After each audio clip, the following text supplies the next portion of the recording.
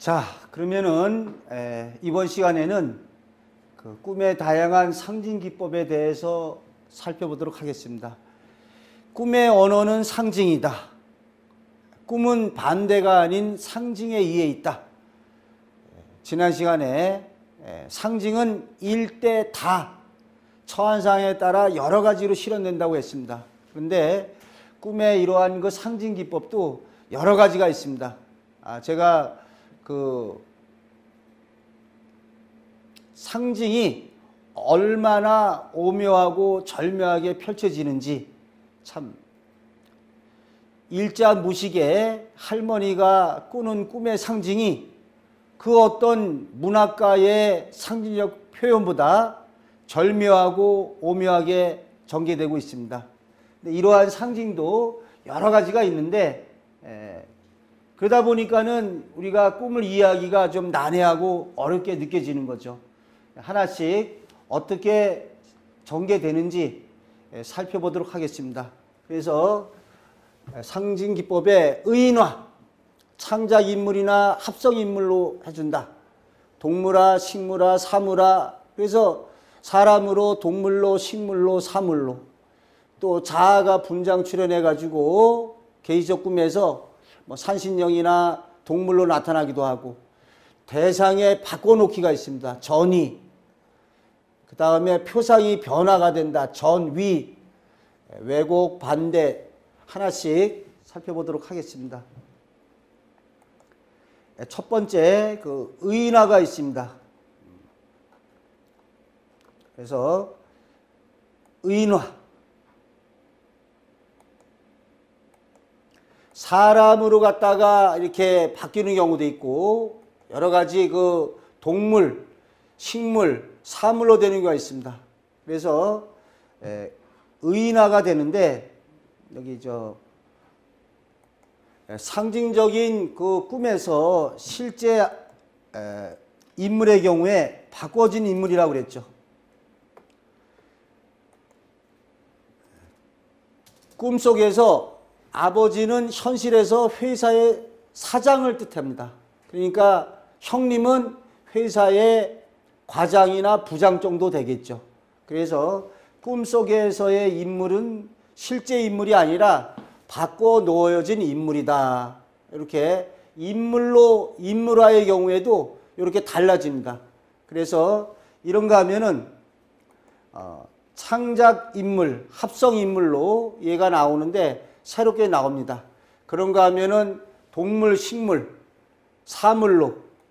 그래서 꿈속의 동물은 거의 다가 사람을 상징한다고 그랬죠. 그래서 예를 들어서 개나 호랑이가 싸운다. 두 동물이 실제로 개나 호랑이가 아니라 개나 호랑이로 상징된 두 사업체가 두 사람이 싸우는 경우가 있어요. 또는 만약에 동물이 나무 위에 올라가거나 올라가지 못하는 거로 흥망성취를 보여주기도 하죠. 그러니까 나무 위에 올라갔다 그러면은 성취되는 거고 올라가지 못하면 떨어지는데 그때의 동물이 어떠한 사람을 나타내는 경우가 있다. 또 식물이나 사물의 경우에서도 형태나 크기의 온전함, 탐스러운 거로 갔다가 성취 여부를 알 수 있다. 특히 이 말이 중요한데요.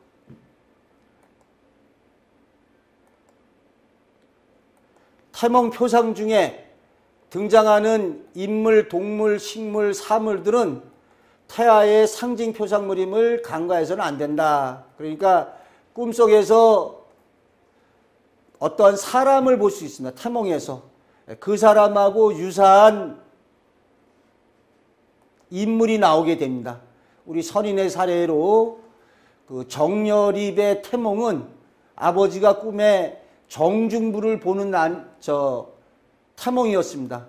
그러니까 고려 때 무신의 난을 일으켰던 정중부의 태몽이었는데 공교롭게도 정열입도 그러한 이제 난을 일으켰다고 해서 관련이 되죠. 또 대개 보면은 꿈속에서 공자를 봤다는 그러한 태몽은 공자의 태몽으로 태어난 인물은 학문적 길을 갖다가 걷게 되고 있겠죠. 동물, 식물, 사물도 태아의 상징 표상물이다. 꿈속에 나타난 동물과 유사한 신체적인 특징을 갖고 있거나 또는 행동 특성을 가지고 있습니다. 만약에 누워있는 소다.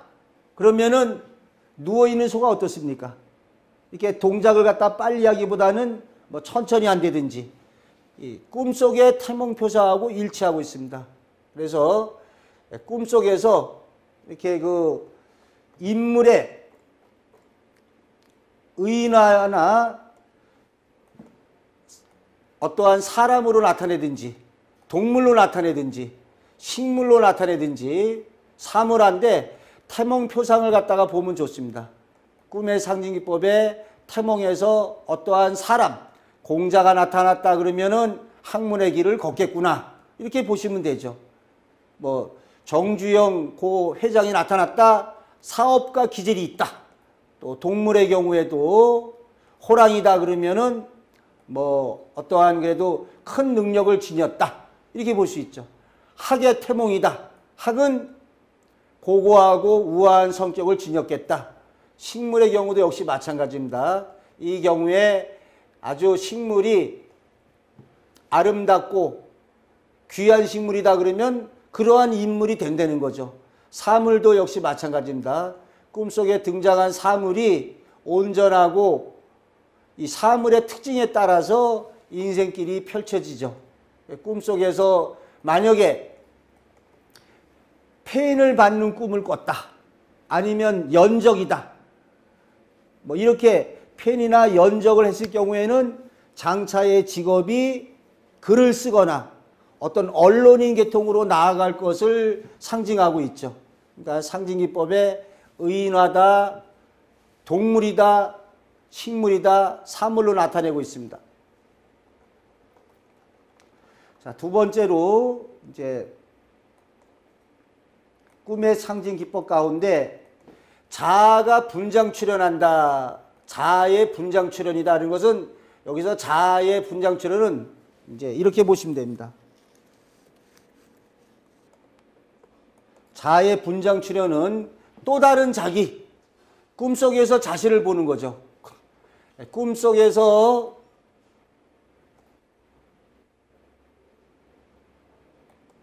자신을 보는 꿈입니다. 꿈속에서 나를 보는 꿈이다. 꿈속에서 나를 봐요.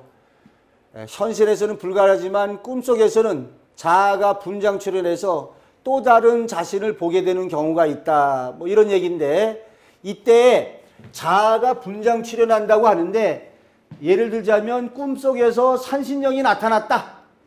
하지만은 그 산신령은 우리의 잠재의식의 세계가 만들어낸 분장 출현된 거라는 거죠. 꿈속에서 산신령, 돌아가신 부모님, 호랑이, 자신의 자아가 분장 출현돼서 나타나는 방식을 취한다. 아, 요거는 이제 그 소개해드린 바가 있는데요. 꽃비 내리는 그 길을 연인과 함께 걷는 꿈이다. 근데 그 꿈속의 남자가 알고 봤더니 자기 자신이더라. 그러니까 이렇게 꿈에서 자기가 자기 모습을 보는 경우가 있죠. 꽃비 내리는 길을 연인과 함께 걷는 꿈을 꿨는데 그 남자가 바로 자기더라. 그래서 이제 복권에 당첨되고 있는데 이렇게 꿈속에서 또 다른 자기를 본다. 이런 방식이 꿈의 상징 기법 중에 하나입니다. 또 마찬가지로 자 꿈속에서 자신이 교통사고로 안락사하는 걸 봐요. 그런데 현실에서는 직장에서 우수한 근무 성적을 받았다. 꿈속에서 자신이 죽었다는 걸 보는 꿈인데 죽는다는 것은 새로운 탄생을 가져오기 때문에 현실에서는 좋은 근무 성적을 받는 거로 새롭게 능력을 인정받는 일로 이루어지고 있다. 근데 꿈속에서 자기가 등장이 되더라. 이렇게 또 이것도 선인의 사례인데 꿈속에서 자신이 판이 금부사가 될 것을 꿈꿔요. 여기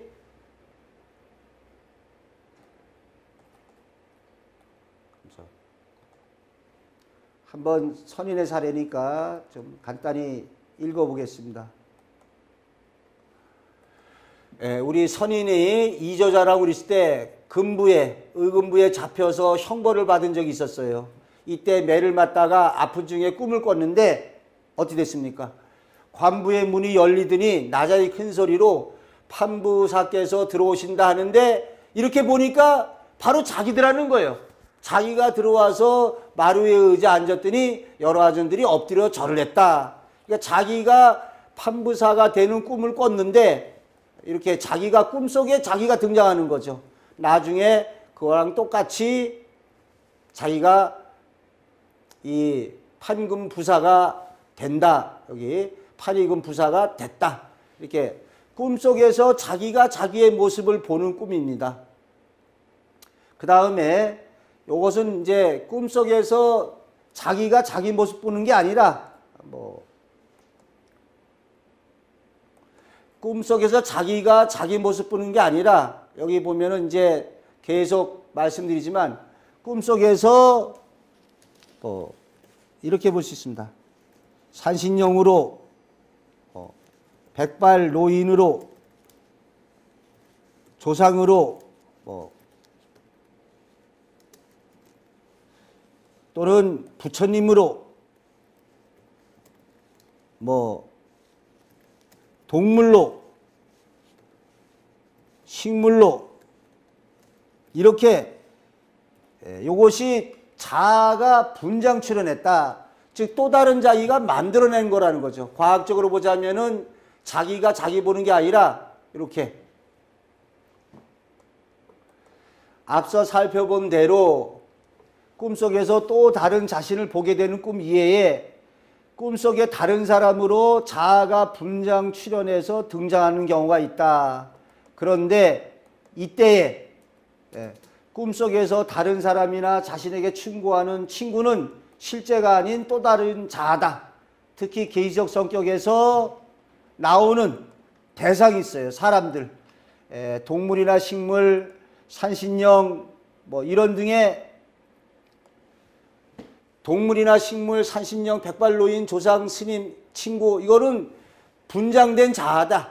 자기가 다르게 다른 모습으로 나타난 것이라는 거죠. 그래서 이것이 어떻게 보면은 현몽의 방식을 취하는데 우리 그 한건덕 선생님이 이렇게 말씀하시고 계십니다. 고 한건덕 선생님은 이러한 꿈속에 나타나는 사신이나 조상이나 영적인 대상이 실제하는 것이 아닌 꿈의 상징 기법이 하나로서 우리 잠재 의식의 자아가 분장 출현한 것이다. 이렇게 볼 수 있다는 거죠. 자, 그래서 이런 거는 이제 언제 일어나느냐? 어, 몇번 저도 요 강조한 얘기입니다. 언제 이루어지느냐?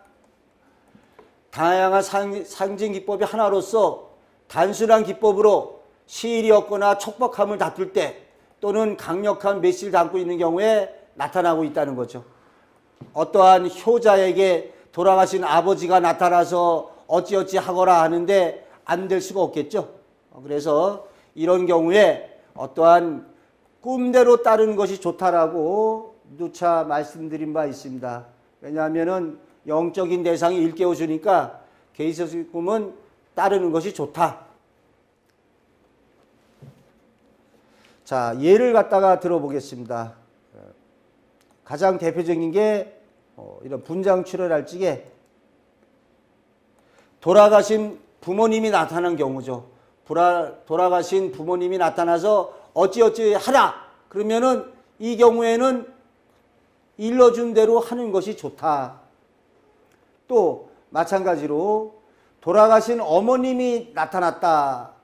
이 경우도 마찬가지입니다. 돌아가신 어머니가 불러서 깨어났는데 어떠한 어려움, 뭐 철수야 철수야 일찍에 요거는 상징기법이 하나로서 어머니를 등장시켜서 그러면 어머니니까 절대적으로 믿고 신뢰할 수밖에 없지 않습니까? 그러니까 이런 어머니가 불러서 어떤 일깨움을 주는 형식을 취하고 있다. 또 마찬가지로 죽은 조상이 다 지금 누차 조상이 나타나서 경고나 예언을 하는 방식을 취할 수가 있어요. 그러니까 어, 어머니 또 나가서 조상이 나타나는 경우에 이러한 상징 기법의 하나이다. 또 조상이 아니라 산신령이나 뭐가 될 수도 있습니까? 어, 백발 노인 어, 얘기한 것처럼 백발 노인이 어떠한 얘기를 한다. 또는 백발 노인이 아이들에도 이 경우도 되죠. 예언자, 무당, 산신령이나 심지어 악마가 등장된 경우가 있는데 이러한 것이 나타나서 알려주는 방식을 취할 수가 있다. 예언자, 무당, 산신령 이런 쪽도 되죠. 이거 말고 굳이 또 더하자면은 모두 됩니까?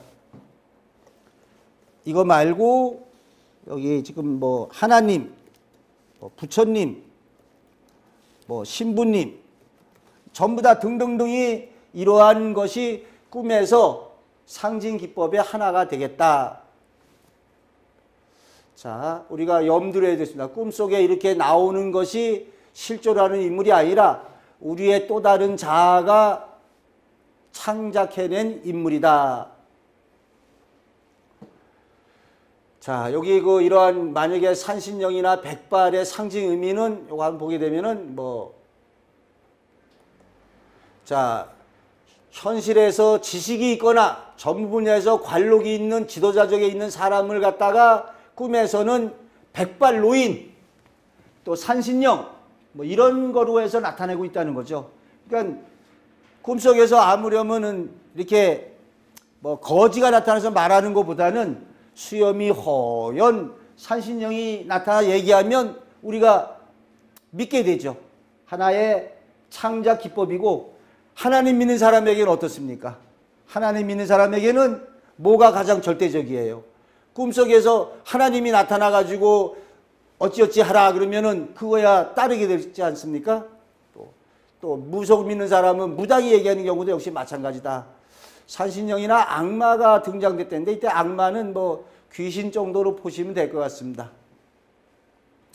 자, 그 다음에 꿈의 상징 기법 가운데 전이가 있습니다. 바꿔놓기.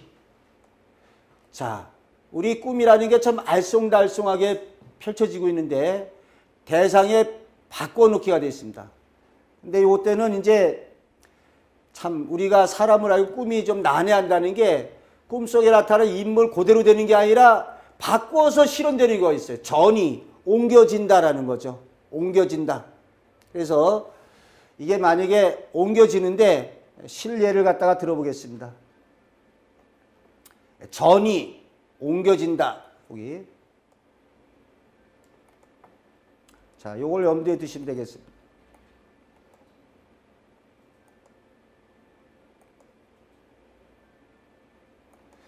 사실적인 미래 투시꿈에서는 똑같이 되지만 상징적인 미래 투시꿈에서는 등장인물이나 대상이 전이 된다. 자, 요거 한번 자, 여기도 여러 가지 있는데 인물을 다른 인물로 바꿔놓기가 있습니다. 꿈이 참 오묘하게 펼쳐지는데 다른 인물로 바뀌어져요. 아기 손가락이 절단되는 사고가 있었습니다. 아, 그런 꿈을 꾼 사람이 있었어요. 꿈속에 아기 손가락이 잘린 꿈을 꿨는데 자, 현실에서는 아기 손가락이 잘린 게 아니라 시아버지 손가락이 절단됐죠. 그러니까 현 꿈에서는 아기 손가락이 잘리는 꿈을 꿨는데 시아버지 손가락이 절단됐다. 또 예를 들어서 지금 전부 다 그와 같은 사례입니다. 그 인물의 전의를 가져온다. 이러한 기법이 있다는 걸 알아야 되겠습니다. 아버지의 뱃속의 장기가 튀어나왔어요. 좋지는 않습니다. 좋지 않는데 사실적, 사실적인 꿈이라면 실제 아버지 뱃속의 장기가 튀어나와야 되는데 현실에서는 할머니가 췌장암으로 실현됐습니다. 이렇게 인물의 전이죠. 아버지가 할머니, 아기가 시아버지. 자, 또 다른 그 표제 제목을 보겠습니다.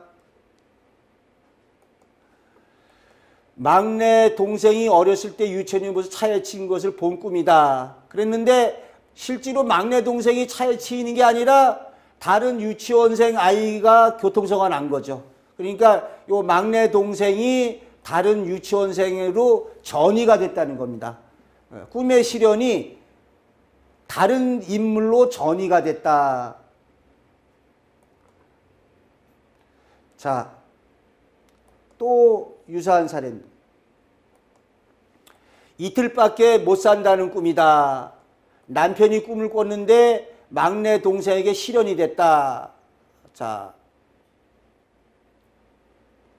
여기 보면은 에, 이틀밖에 못 산다고 그랬는데 남편이 아니라 동생에게 자 여기 보면은 어, 병원에 누워 있는데 앞으로 이틀밖에 살 수 없으니까 마음의 준비를 해라 이런 꿈을 꿔요. 어, 당신은 앞으로 2일밖에 살 수 없으니까 마음의 준비를 해라. 그래서 걱정을 했는데 실제로 시련이 자신에게 이틀 뒤에 죽는 게 아니라 여기 보면은 고속도로에서 운전하다가 잠깐 길을 둔 잠깐 길에다가 세워둔 막내 서방 그러니까 동생에게 동생이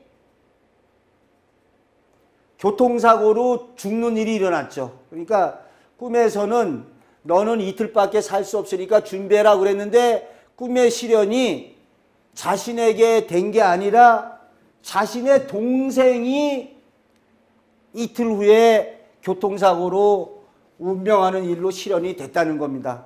그러니까 인물이 전이가 된 거죠. 그러니까 참 우리의 인간의 예상을 갖다가 이렇게 뛰어넘죠. 그래서 이게 참 꿈이 실현되기까지 알쏭달쏭하게 되는 거지 이게 참 어떻게 모든 것을 보여주지 않고 있어요. 이게 전이가 이루어진다. 그 다음에 여기도 마찬가지입니다. 또 다른 이제 유사 사례인데요. 꿈에 자기가 죽어서 온 집안이 슬퍼하고 있는 꿈이에요. 상위적 꿈인데 자기가 죽어서 집안이 통보했으니까 자기가 죽는 꿈에 새로운 탄생이 이루어져야 되는데 자기가 죽어서 자기한테 새로운 탄생이 이루어진 게 아니라 동생이 꾸고 형이 복권에 당첨되고 있습니다. 그러니까 원래는 동생이 돼야 되는데 형에게 일어나고 있죠. 근데 또 어떻게 보면은 형이 복권에 당첨돼서 동생한테 또 이렇게 물적 지원을 해주면 동생도 또 새로운 탄생이 오긴 하죠. 뭐 그렇게 볼 수도 있지만 어쨌든 자신이 죽었는데 상류적으로 죽은 자신이 복권에 돼야 되는데 형이 되고 있습니다. 자, 이렇게 자신이 뿐만이 아니라 이제 그러니까 사람에서 사람으로 되는 게 아니라 이런 경우가 있습니다. 사람에서 사람에 된 것이 아니라 사물이나 일거리, 대상, 사건, 사고가 사람이나 인물이나 신체로 바꾸는 거죠. 동식물, 신체상으로 바꾸랍니다. 그래서 이거 가지고는 좀 이해가 안 되니까 한번 이제 이해를 보죠. 요거는 언젠가 소개를 해 드린 적이 있는데 자, 정초에 손가락 4개가 잘려졌어요. 그러니까 내 손가락 4개가 잘려졌는데 여기 그 해에 교통사고로 4사람이 죽었습니다. 그러니까 여기 하나만 볼까요? 그 해에 직장에서 교통사고가 많이 나서 네 사람이 교통사고로. 그러니까 이때는 네 사람이 손가락으로 나온 거죠. 사람이 여기 이렇게 손가락으로 갔다가 나온 겁니다. 그 다음에 요런 경우.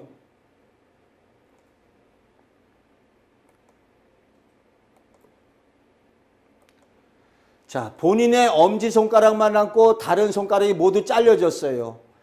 인데 이 손가락인데 이 경우에 비행기가 비행기 사고가 났는데 맨 앞부분만 남고 나머지가 크게 부서졌다. 그럼 비행기가 바로 앞부분이 손가락 엄지가 되고 나머지가 손가락으로 또 나온 거죠. 그러니까 비행기가 인체로 여기서 사람이 손가락으로. 자, 그 다음에 특이한 사례인데 처녀가 콩팥에 병이 들었으니까 어떻게 하면 좋으냐라고 묻는 꿈을 꾸었습니다. 한고도 스님의 사례인데 처녀가 콩팥에 병이 들었는데 어떻게 하면 좋으냐. 그러니까 이 꿈을 꾸고서는 실현은 이런 식으로 문학 작품을 발표하려고 했는데 어떻게 하면 좋으냐. 그러니까 이때에 처녀의 콩팥에 병이 든 게 문학 작품을 발표하려고 하는데 어떻게 하면 좋겠는가? 문학 작품이 처녀의 콩팥이 된 거죠. 이런 식으로 어떠한 대상을 인물화로 시켜서 나타내고 있습니다. 아, 요것도 또 재밌는데요.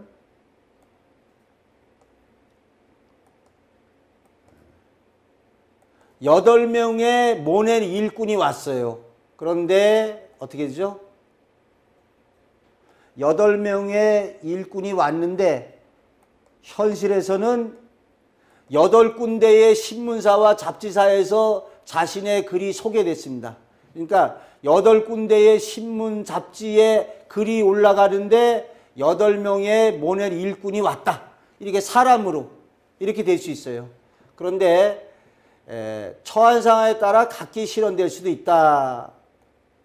제가 한번 이렇게 만들어 봤습니다. 어떻게든 실현될 수 있느냐? 회사 사장의 경우에 여덟 군데 부서에서 희망자가 신청됐다든지 한 명의 지원을 직원을 뽑는데 여덟 명이 지원할 수도 있어요. 처한 상황에 따라서 여러 가지로 다연히 다양하게 실현된다. 또 이런 사례도 있습니다. 다양하죠. 막다른 골목에 자식 아홉 달린 과부를 얻어 사시오. 그랬는데 전셋집을 얻게 됐어요. 그러니까 전셋집에 이 자식이 아홉 달린 과부를 얻어 살아라. 그러니까 방이 아홉 개 달린 그 집의 큰 방, 아, 방이 아홉 개인 그 큰 방에 전셋집을 얻게 됐다.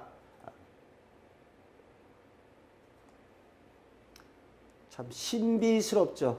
그러니까 에, 집의 안방을 어떠한 그 그런 큰 집의 안방을 전세로 들어가려는 걸 아홉 달린 과부를 얻어 살아라. 자식이 아홉 달린 과부. 그러니까 이러한 사물을 갖다가 사람으로 상징한 거죠. 사람으로. 또이 경우도 어, 마찬가지입니다. 자, 여자 옷을 하나하나 벗기는 꿈을 꾼 사람이 있어요. 요거는 일거리 대상에 관심을 갖게 되는 거죠. 하나씩 하나씩 일거리 대상에 관심을 갖게 되는 걸 여자 옷을 하나씩 벗겨나간다. 자, 여기 제 글인데 참 좋은 사례가 돼서 살펴보겠습니다. 이렇게 꿈이 다양하게 실현되고 있는데요. 자, 이 여자 옷을 벗겨 하나씩 하나씩 벗기는 꿈을 꾼 사람이 일거리 대상에 관심을 갖게 된다. 예를 보겠습니다. 대학생이 만약에 이런 꿈을 꿨다. 아, 여자 옷을 하나씩 벗겨나간다. 그러면은 일본어나 어학 공부를 해가는 일로 실현될 수 있겠죠. 회사원이 주식을 알게 돼서 주식 공부를 하게 되는 경우 있어요. 부동산 업자라면은 부동산에 하자가 있는지 없는지 따져보는 사람이 될 수 있어요. 또 돈을 빌려본 사람이라면 빌린 사람이라면 차용증서나 문서 내용이 없는지를 따져볼 수 있다. 그러니까 이 여자는 실제 여자가 아니라 어떠한 대상을 뜻하죠. 대상. 또 하나하나 베끼니까 하나하나 알아본다는 걸 뜻하고 있고요.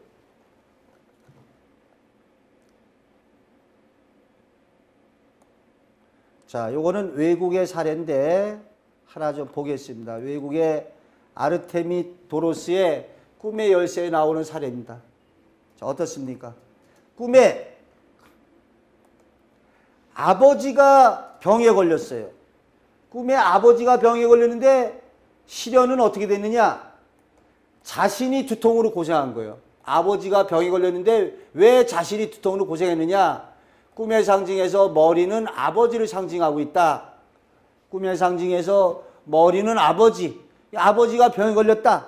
상징에서 머리는 제일 그 권위자 우두머리니까 아버지 상징하는 머리의 두통으로 고생을 했다. 하부는 하급자 상징하고 이런 식으로 이러한 어 사람으로 이렇게 사람으로 갖다가 바꿔놓죠. 어떠한 사물을 갖다가 이렇게 사람으로 바꿔놓는다. 인물이나 신체로 바꿔놓는 경우가 있어. 인물이나 신체로 바꿔놓기가 있다.